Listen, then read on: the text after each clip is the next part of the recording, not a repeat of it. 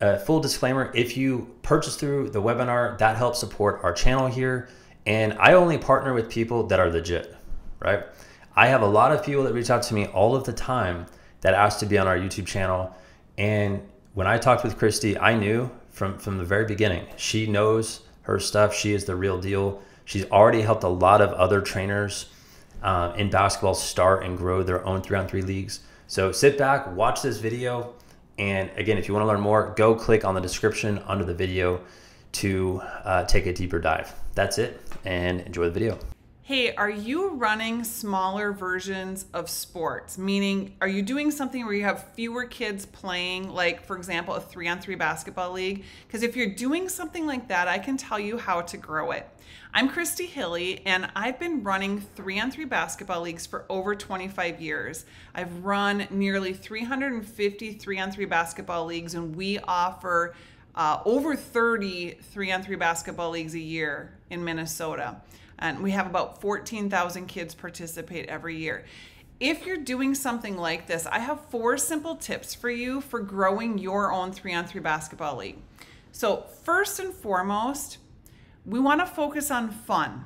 Okay, we don't want to focus on prizes. We don't want to focus on winning and on um, standings and records. Okay, now I know it's really typical in our culture that we define fun with winning. I mean, winning's fun, right? But what do we do? We say to kids after they play a game, we say, Did you win? Okay, and if we do this, that means mathematically speaking, 50% of our teams or our kids are not having fun because 50% of them have to lose, right? So, what we want to try to do is not direct our focus on the win and loss record. Okay, the kids in our leagues, they know the outcome of the game, they know the score, but we don't post standings. And even during our games, we don't have the score visible while they're playing. Our refs will yell out the score for the, the teams if it's close, but we tell our refs, don't say the score if it's 34 to 4, okay? There's no reason to even highlight that. Just let the kids play and have fun and not worry about winning. The second thing that you can do to help grow your three on three league is not allow coaches. Okay, and hear me out on this. I know you're probably a coach, and so this is kind of maybe uh, something that raises your eyebrows a little bit. Okay, but and I'm not saying that we don't need coaching. Okay, I, I whole, you know I know we need coaching, but I wholeheartedly believe that kids need this opportunity to play their sport without always being coached. Okay, I think back to when I was a kid. I had plenty of opportunities to play my sports, basketball and volleyball, where I could just go and play them and I wasn't being coached and always being told what I needed to fix or what I wasn't doing well or getting yelled at, even. Okay, so when we ask our athletes, our, our participants, why do you love playing in our three on three basketball league? They give us usually one of two reasons, okay? And the two top reasons are number one, no coaches. The kids love to play without having coaches. And their second reason that they love playing in our leagues is that they get to play with their friends. Because what happens a lot of times with sports is kids try out to make teams. And they're going to make the, the A team or the B team or the C team or however it's done. And they're not necessarily on a team with their friends. And this happened to my son his whole basketball career. His two very best friends, he never got to be on the same team with them for five on five. The only way he got to play basketball with his friends, with his best buddies, was if he played three on three basketball. And he loved our three on three basketball leagues. He would just geek out about them. He was always mad when they were over. And I remember saying to him, Alex, why do you love three on three basketball so much? I mean, you are super obsessed with this. Why do you love it so much? Mom, I get to play with my friends and also no coaches, he said. And which I thought was funny at the time because his dad was always his basketball coach. Okay, so maybe that had something to do with it.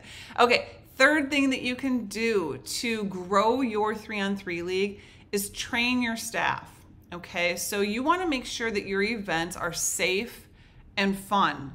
And you might have this great vision of how your three on three league is going to go, but you can't do it all alone, all by yourself. You need your staff to buy into your vision too.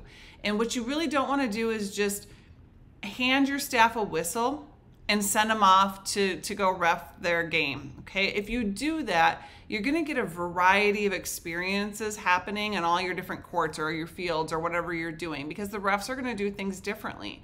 So you want to make sure that you're training your staff and that they understand your philosophy and your vi- vision of what your three on three league is going to to be like. Okay, and you can do this a couple of ways. You can have an event where you train your staff, and we do this. We bring in a lot of our staff members and we let them practice refing a three on three basketball game. Another thing that you can do, it's a little bit of work, but once it's done, it's so cool, is create a digital and online training. So all you have to do is provide a link to your staff, and then they can go to your online training and hear the same message. It's going to just make things a lot more consistent for you at your leagues as a very minimum before games start and go over your rules. Okay, so specifically, we meet with our staff and say, okay, what's different about our three on three league versus refing five on five? And we go over some of those things that are different. And again, we just keep highlighting our philosophy and what our brand's gonna be all, all about. We actually have on our clipboards for our refs a list of specific phrases that they can use with the kids that are engaging and that are fun and can help our staff interact with the kids and not focus just on winning all the time. So some things that they can say with the kids. And when you have really good staff members that are doing a great job of making your event eh, fun for the kids, reward them. You know, maybe raise their pay or give them a bonus. And then along these lines, you want to continue to train your staff and your parents with how to talk to the, the kids about their game. So instead of saying to the kids, Did you win?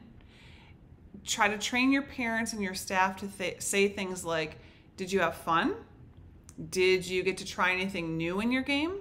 Did you get a good workout? Tell me about a great play that happened in your game. Okay. Fourth tip for growing your league is be very organized and always have a mindset of scaling. That first league that you run, if you've already run a league, you know what I'm talking about. But the first three on three league that you run, it's hard. There, it's a lot of work. Everything you're doing is new to you.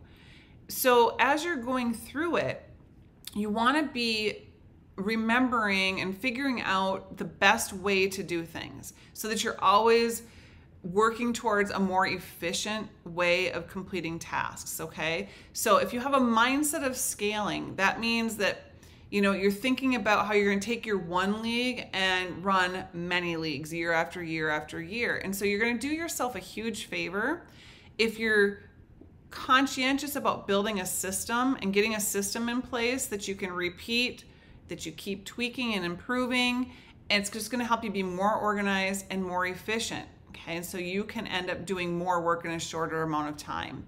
So here's an example. In our three on three basketball leagues, we give every kid a t-shirt that plays in our league. And we don't just order a bunch of red shirts or something in bulk and then hand them out. We don't do that. We order each kid a specific shirt. We know what color that child's going to get because we have each team get different colors and what size. So we don't have extra shirts. We just buy one shirt per kid, which is less expensive if you do it that way. And then um, we really had to create a system to do this though, because uh, that's tricky to order each individual shirt for each player. So we didn't want our distribution of these shirts to be slow at our leagues. We had to come up with what's our process going to be here. So what we decided to do instead of handing out one shirt at a time to each player at our league, that that could be like 500 shirts we're handing out we package them by team. So we get all the shirts for one team together, and then we put a sticker on them that has the team name and then all the players' names on that sticker plus their shirt size. And now we're handing out a, a whole team's worth of shirts versus a bunch of individual shirts. So we're just streamlining our processes. We're, we're making things more efficient and things just keep evolving. So have that mindset as you're going through things about I want to scale this. How do I get more efficient at what I'm doing? Okay, how do I make this task more efficient? Okay, I have so much more I would love to teach you about what we're doing with three on three basketball leagues, and it will work for other sports too. So I would like to invite you to save your seat at a free training that I'm doing. So if you go down to the description below, there's going to be a link where you can sign up for my webinar where I'm going to teach you the seven specific steps that you're going to want to follow so that you can launch and run and profit from your own three on three league. Okay, I hope to see you there.